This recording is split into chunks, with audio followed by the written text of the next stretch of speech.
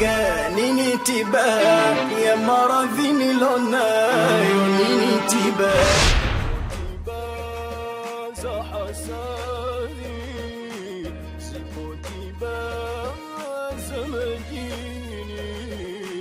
السلام عليكم ورحمة الله وبركاته عد الكلام المرء طول محياه وأحسن ما يلقاه من أجر أجراه إذا ما دا رب السماوات مولاه أيا طيب الأسماء يا من هو الله؟ ومن لا يسم اسم إلا هو حنيئا لذي قديم على الدنيا وأومض الخوف ليلا وما حاسنا. أيا حسن الأوصاف يا حاثن والسنا. أما بعد ama baada ya kumshukuru Mwenyezi Mungu Subhanahu wa Ta'ala na kumtakia ziada za kheri kiongozi wa umma mtume wetu.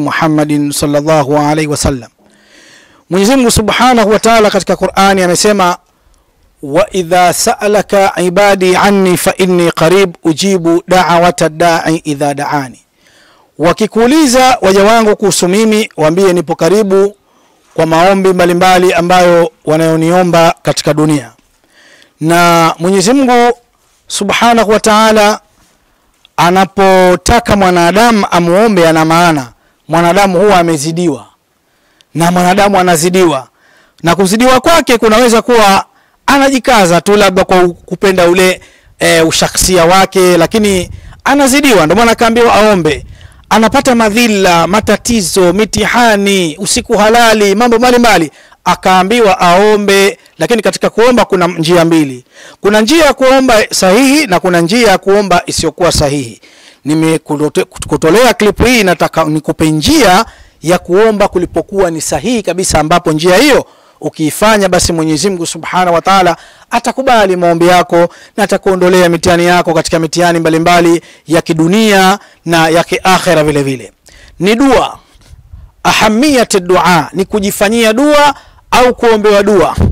Na dua ni nini? Dua ni ibada kubwa sana ambayo mwanadamu katika maisha yake anatakiwa aombe. Lakini je, utaomba dua ya namna gani? Utaomba dua ipi? Haya yote lazima uelekezwe, ili mradi uondokane na mitihani ambayo unayo. Kwa hiyo insha Allah biidhnillahi jalla waala, tunawaambia kwamba wale watu ambao wana matatizo mbalimbali, wana mitihani, wana majini eh, wana maradhi mbalimbali, wamepata misukosuko ya aina mbalimbali, lakini bado wanaendelea kuomba, lakini bado mitihani ile haijakamilika, basi wallahi, inna Allaha aradun, inna Allah ibadun aradu idha aradu arada. Wako Mwenyezi Mungu, kuna waja ambao Mwenyezi Mungu wakiomba kupitia kwao au kupitia mkusanyiko ule, basi huenda Mwenyezi Mungu akajibu maombi, na ndio maana tunakwambia ewe ambaye una maradhi fika Vikindu Magogo matatu, la kwanza. Lakini la pili vile vile uweze kufika pale Mwembe Yanga Tandika. Kwa hiyo tuna sehemu mbili, makao makuu yetu Vikindu Magogo matatu, lakini pale Tandika Mwembe Yanga unaweza ukafika kupitia namba yetu ya 0714657173. Pana nini? Ujue katika dua kuna vitu viwili vikubwa sana, alistighadhatu billahi taala kujielekeza kwa Mwenyezi Mungu Subhanahu wa Ta'ala biduni shirkia, bila kutumia shirki.